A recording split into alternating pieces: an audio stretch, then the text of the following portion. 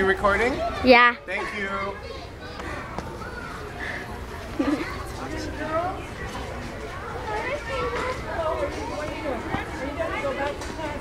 Move to the left so we can have the Philippine flag. You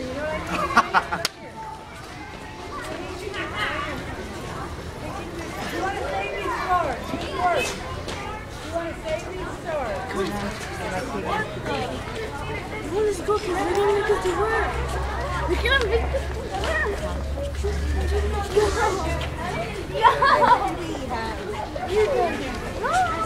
today was the uh, International Day here at Burbank Elementary, and uh, something that we had an assembly, and uh, Gio, Gio and I uh, Um, uh, we performed a modern adaptation of Juan Tamad, the folktale, and um, we decided to modernize it make it interactive. make it interactive. I think what we want the audience to experience is to see how the moral of the story is not just for one group of people, but it's universal theme. The theme of not lying and not being lazy, working is uh, for everybody. As um, we really illustrated today, Yeah, yeah. that everybody really got. It's, um, it's a cultural folktale too from the Philippines.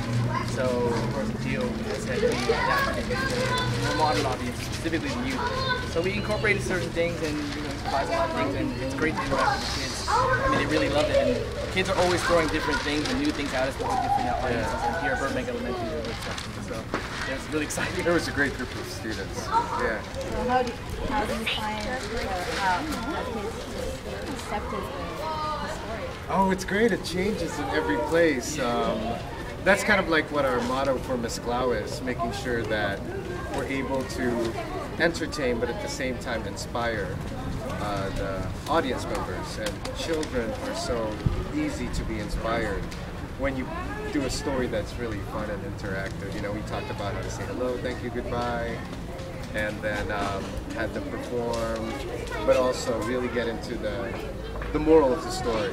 Yeah. And there's a lot of performers here already. We saw the you Oh, yeah, some the yeah, performances we have- here for the International Day Assembly, and these kids are great. I mean, a lot of them have no uh, good inhibitions and a lot of good energy. Yeah. You know, they bring it forth. So we were really excited to come in and perform the Juan Tamad. Yeah. So, oh, where do you guys go? Are you guys, We do schools and um, universities, Community center. community centers. If um, we're on www. Um, MySpace, I mean Facebook, Mezclao, M-E-Z-C-L-A-O. If you wanted to see our work, all of our programming is in there. And that's Mezclao. That's our group. hold on. I'm gonna check if we're recording. So you live in LA? Yes, I live in Hollywood. Awesome. It was so far to get here, but I got stuck in traffic. Ah. I need to get here. So what makes this uh, this thing different from other plays or other storytelling? I, well, it's very apparent that we are so interactive. The great thing about Wesley is very um, good based on improv. So I mean, we're just bringing students up, and we kind of like we have a script. But then when the students get in the the group, it changes everything, you know. So incorporating dancing. You know, and you know, we both have extensive theater backgrounds, so arts is where we're rooted in, and it's nice to share that uh, with the kids. Even though you know they're audience members, we can get them just as involved too, and that's part of the whole theater and arts Yeah. So we, we you know really appreciate that and bring value to it. So that's what we like to bring here. Definitely. As Filipinos, how how do you think you were able to share our culture and our traditions? Oh, man, well, I grew up I know. You know, I grew up in the Philippines and all the comic books, the movies, the, the literature we read growing up. And so when um, we were talking about it last year, I was like, it'd be nice to bring this folktale into life. And not a lot of Filipino Americans know about it. So to do a modern twist to it, to uh, make it more in the American sense, you Yeah. know, interactive for that group, is a lot of fun.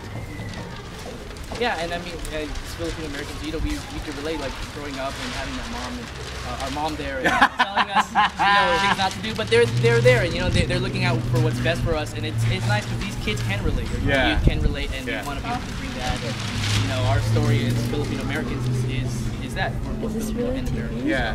Um, But in the you know, Philippines, we're all cultures doing that, but it's something also- beautiful as International Yeah. Day, and we're Don't here like see- events to celebrate that. It's really nice because it fits perfectly. with both events. Yeah, I mean, one, one thing, uh, a girl just came up to me and she was like, she's Latina, and she was like, you know, that's my brother. You know, and that's kind of like to use our own cultural heritage, but then open it up because at the end of the day, we're we're one. You know, so it was really nice to hear. She was like, he's lazy. My mom always told me to do chores. Yeah. You know, so it's it's a universal story. You know, it's very exciting for us. What do you want other people to especially? Um, basically, um, learning that no matter what, you always get caught. So why not just be good and be honest and hard work?